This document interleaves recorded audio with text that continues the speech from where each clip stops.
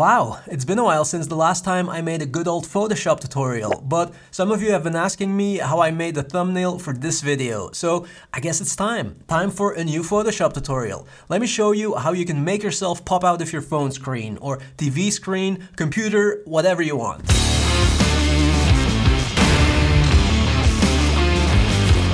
Okay, so first of all, what do you need if you want to Photoshop yourself popping out of your phone? Three photos. A photo of you holding your phone, then also a photo of you pretending to climb out of your phone screen. So pay attention to how you hold your hands. With my right hand, I'm pretending to grab the edge of the phone. I'm also leaning forward a little bit to make the end result look even more convincing. And then finally a photo of just the background.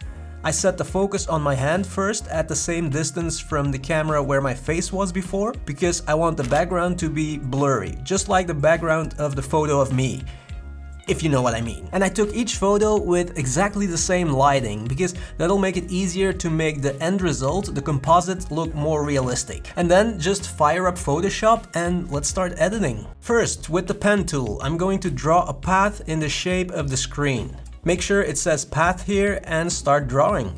Click to create your first anchor point and then just keep clicking. Now to make a curve, two options. First option, just click and drag and you can make your curve. But if you've already made a curve and you click to create your next anchor point, Photoshop will automatically create a curve based on the previous curve. And it might make it difficult to get the right curve. You know what I mean?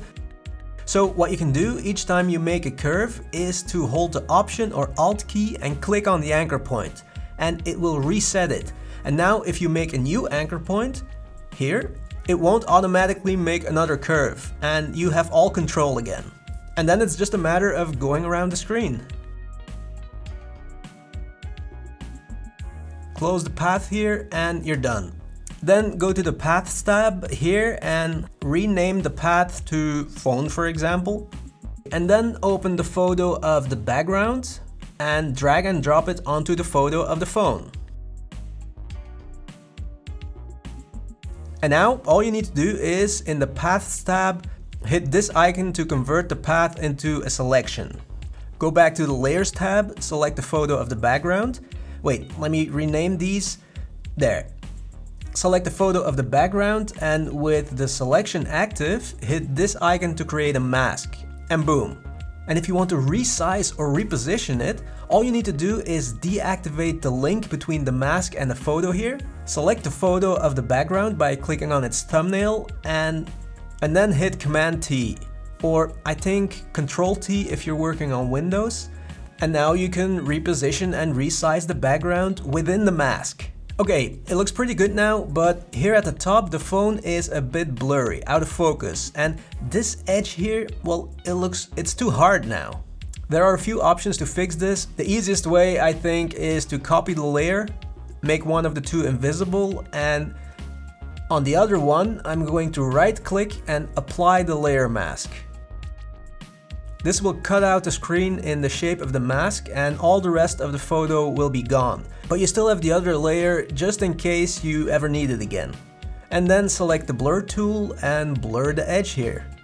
Probably until halfway the screen.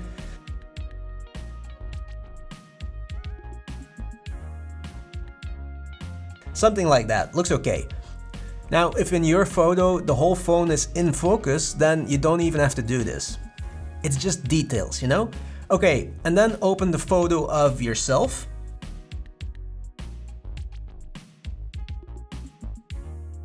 Drag and drop it so it creates a new layer and then let's also rename it. And now we're going to remove the background. And instead of the pen tool, I'm going to use the quick mask tool. That's this icon right here. Set the brush size to not too big, also not too small. Something in between, I guess. and also set it here to add to selection. That's the one with the plus symbol. And then just start selecting. Click and drag, click and drag. If there's enough contrast between yourself and the background, it will do a pretty good job. Here at the left, it doesn't really matter if I get it or not because it will be cut away anyway. And once you're done, click on select and mask up here and here we can refine the edges of our mask. So select the Refine Edges tool. Again, make the brush not too big, not too small. Just play around with it a little bit to see what gets you the best result, and then just paint over the edges where the mask is not perfect. For example, hair or some blurry parts, and Photoshop will automatically create the perfect mask for you. But don't worry if it doesn't because you can always refine it manually. Hit OK, and same as before, with the selection active and the layer with the photo of yourself selected, hit this icon, and boom, it creates a mask again.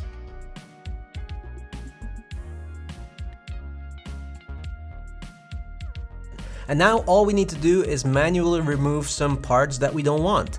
Select the brush tool, make sure the mask is selected here, and also make sure that the colors are set to pure black and pure white. Just hit this little icon here. And now, painting with black works like an eraser, but when I switch to white, I can make the removed areas appear again. And from here on, it's just a matter of getting the details right.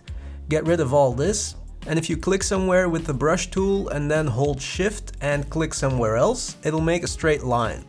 And then of course we have to make my fingers appear again. And you can adjust the size of the brush, also the hardness of the brush, so that in the end it looks perfect. Just go around to see if it needs some refining or not. I think this looks okay for now. Then, down here, I need to get rid of the table. So what I'll do is select the photo of myself, go to edit and then transform and warp. And I'm going to pull this down so that my t-shirt goes just over the edge of the screen. Hit OK. You could also use the liquify filter here if you want even more control. And then go back to the paths window here and convert the path into a selection. And then up here, go to selection and inverse. Select the brush tool again, set it to black, make sure the mask is selected here, that's super important, and just get rid of this part here. And you're basically done. All that's left now is maybe add some details like shadows. Here under my fingers for example, with the brush tool, I'll make a new layer here, almost all the way at the bottom, and then set the blend mode of that layer to multiply, and now let's just paint some shadows. I could also add some shadow down here, but then I need to add a layer at the top. Load the selection of the screen and paint some shadow down here. Take down the opacity of the layer and done. And that's it, not too difficult, right? But yeah, depending on your level of experience in Photoshop, it might take a while, you know, to get it perfect. Uh, I hope you like it. Thank you so much for watching. Go create something cool now, start practicing, and see you in the next one.